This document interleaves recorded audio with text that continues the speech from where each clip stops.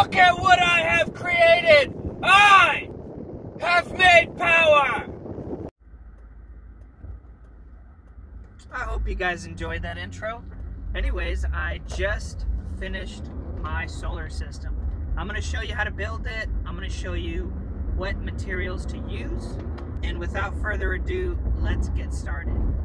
Okay, so before we get into the nitty gritty, I wanted to talk about the solar panel that I picked up from Amazon. This is a 100 watt panel from Renogy, and it only cost me about a hundred bucks.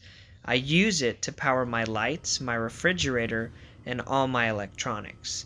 Everything from my laptop to my cell phone and cameras, my drone, uh, and it is hooked up to a 150 watt amp hour battery which I will show you in just a minute.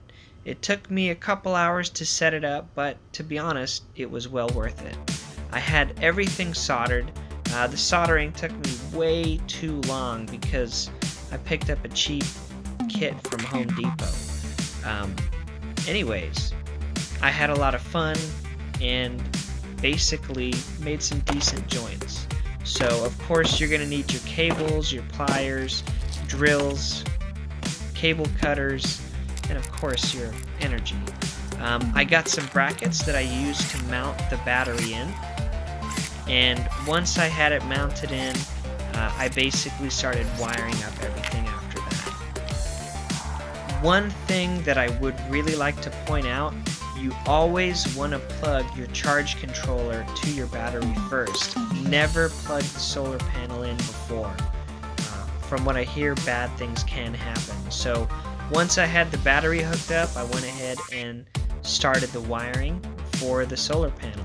Cut the wires, got everything clipped, and tried to make it as neat as possible. So this is my Renogy charge controller, and as you can see, it's pushing at about 12 to 13 volts. And it's pushing at about 4 to 5 amps. So power looks pretty decent I'll see if I can get a tweak on those numbers. It may look like I know what I'm doing, but I have no... Anyways, guys, I hope you liked the video. Please do like, comment, and subscribe. This is a stick-up. If you watched it this far, you owe me a like.